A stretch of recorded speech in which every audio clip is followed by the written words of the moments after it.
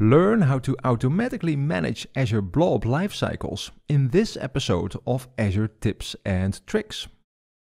Azure Blob Storage offers different access tiers to reduce your storage costs.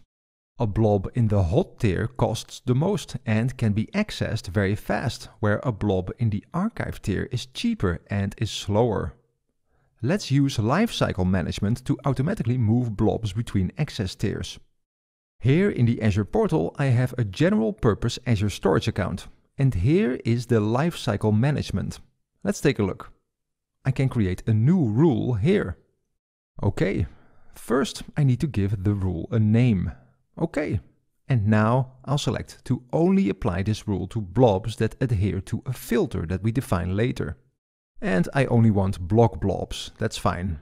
And I'll leave this to base blobs. And as you can see, you can also include snapshots and versions of blobs. Okay, next. Now for the rule.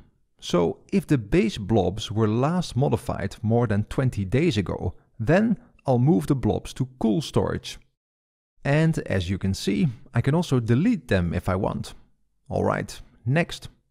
Now the filter. I only want this rule to apply to blobs in the logs container. Okay, that's it.